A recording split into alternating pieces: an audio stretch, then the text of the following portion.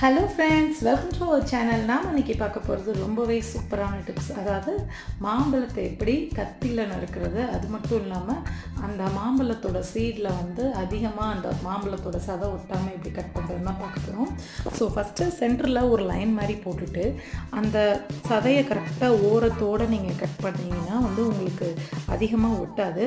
So நான் வந்து நறுக்கிறதுக்கப்புறம் உங்களுக்கு காமிக்கிறேன் எப்படின்னு. இப்போ ஒரு சைடு நம்ம நறுக்கியாச்சு.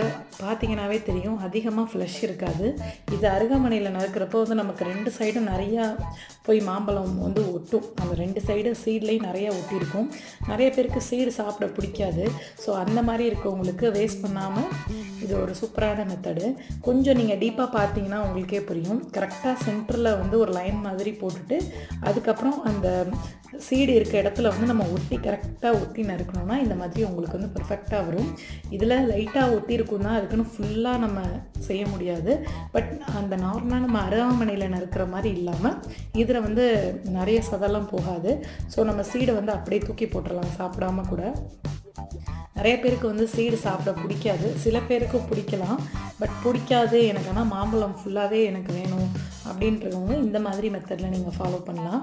ஸோ ரொம்ப சுலபம். ஃபஸ்ட்டு நறுக்கிறப்ப கொஞ்சம் கஷ்டமாக இருக்கும். கத்தியில் நறுக்கிறப்ப கொஞ்சம் கஷ்டமாக கையில் நறுக்கிக்காமல் நம்ம கவனமாக நறுக்கணும். ஸோ இந்த டிப்ஸ் உங்கள் எல்லாத்துக்கும் பிடிச்சிருக்கும்னு நினைக்கிறேன். மறக்காமல் நம்ம பெட் ஸ்டோப்லூமுக்கு சப்ஸ்கிரைப் பண்ணிக்கோங்க. கூடவே பக்கத்தில் இருக்க பெல் ஐக்கோனை கிளிக் பண்ணிங்கன்னா நம்மளோட அப்டேட்ஸ் உடனுக்குடன் வந்து சேரும். தேங்க்யூ